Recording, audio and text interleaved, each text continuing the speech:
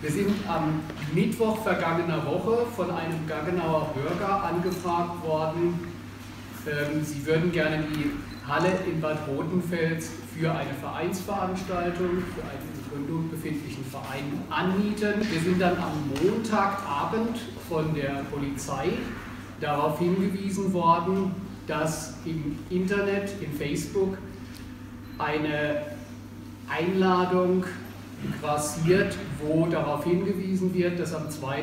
März der türkische Justizminister nach Gaggenau-Bad Rotenfels. Man hat uns daraufhin mitgeteilt, ja, das ist richtig, der Herr Justizminister ist aktuell in Straßburg und würde zu dieser Vereinsversammlung, zu dieser Mitgliederversammlung des Vereines dazustoßen und würde diese Versammlung bereichern. Sie wären froh darum, dass es so ist, aber es soll eine Mitgliederversammlung bleiben.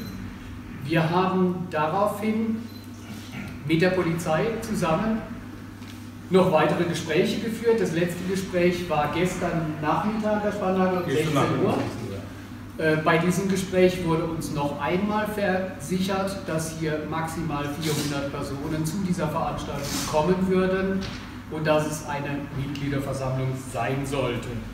Nachdem gestern am späten Nachmittag und gegen Abend dann in den Medien über diese Veranstaltung intensiver berichtet worden ist und auch von Seiten der AKP, ja aus der Türkei heraus mitgeteilt worden ist, es geht hier um eine Infoveranstaltung für das neue Präsidialsystem, um eine Wahlwerbeveranstaltung, so kann man es ja durchaus sagen, müssen wir nach aktuellem Stand davon ausgehen, dass es nicht so sein wird, dass hier nur 400 Personen kommen werden, sondern wir rechnen mit einer Vielzahl an Personen, deutlich mehr, ein Mehrfaches dieser angemeldeten Zahl. Ich hatte vorhin schon gesagt, die Festhalle Bad Rotenfels ist für maximal 500 Besucher tatsächlich zugelassen.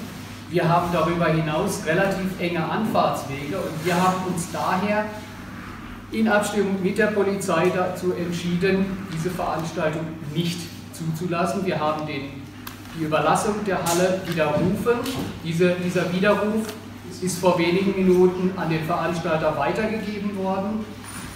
Wir gehen davon aus, dass die Situation einfach zu gefährlich werden würde, vor allem in der Halle, dass mehr Leute versuchen würden, in die Halle zu kommen, dass sowohl aus feuerpolizeilichen Gründen als auch aus Sicherheitsbedenken auch die Zufahrt mit Rettungsfahrzeugen und Ähnlichem die Situation kritisch wird. Und aus diesem Grund haben wir uns zu diesem, Schluss, äh, zu diesem Weg entschlossen.